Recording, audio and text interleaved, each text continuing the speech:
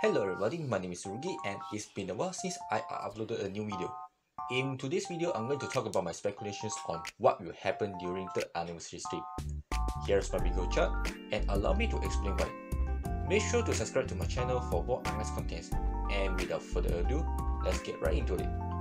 Since every anniversary event guarantees a limited headhunting banner, a free 10 headhunting ticket is guaranteed. So I'll just assume it into a free space in the middle. I'll be talking about skins first. I predicted Kal'tsit, Rosmontis, and Saga will get their new skins.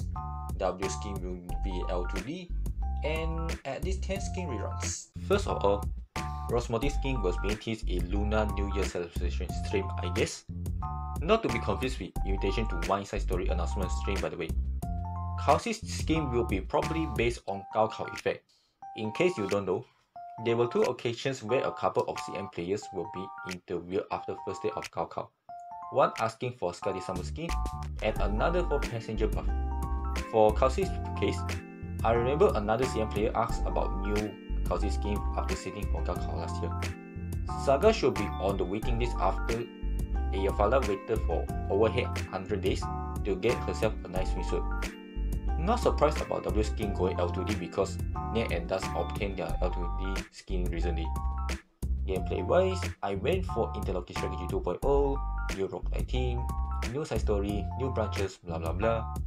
Interlocking Strategies 2.0 will be very different from the previous past event according to leaks, but take it as a great start.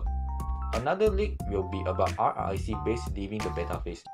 At the same time, New roguelike team will be probably announced as June will be the last month where Phantom Team event will be the main dish.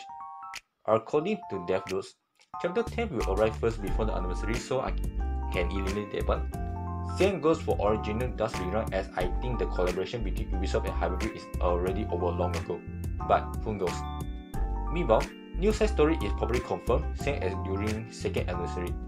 Also, I put my bet on CC9 as CC8 just entered in early March and as CC drops 4 times per year, it is kinda reasonable to announce CC next soon.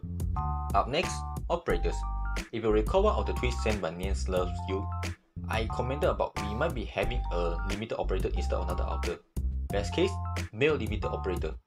Excluding Ling from Lunar New Year event as she is one of Nian's sisters, we have 3 altars in a row from recent limited banners which are Skadi, Chen and Yo.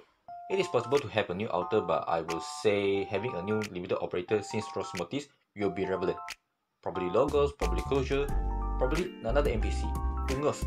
Boys, I put my best on Junko Takeuchi, who is notable for voicing Uzumaki Naruto, along with Kamiya Hiroshi, who voiced Levi from Attack on Titans.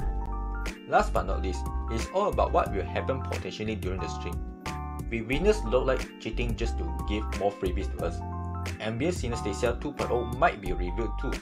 And same goes for the anime adaptation which is Arknight's Prelude to Dawn there is a slight chance for Arknights Enfield teaser, I guess. And are we going to get another collab uh, after Rainbow Six Siege as I those two? Let's just wait and see. And that's all about my guesses on Arknight's third anniversary stream, which will be on 23rd of April. Again, all of these are my speculations, although I did some predictions like Yendap and CCX mechanics accurately. I hope you guys enjoy my video and I'll see you next time. Thanks for watching.